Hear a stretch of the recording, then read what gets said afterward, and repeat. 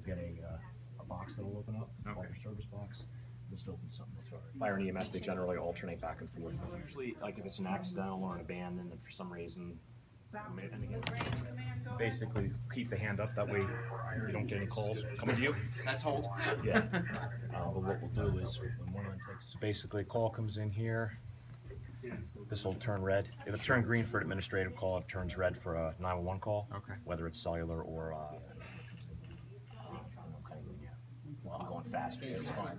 If it's phase two, we would've got a latitude, and longitude, with, and then we would've got a box here where you can pick, uh, you know, like the closest point. and again, odds are probably just landing right on it.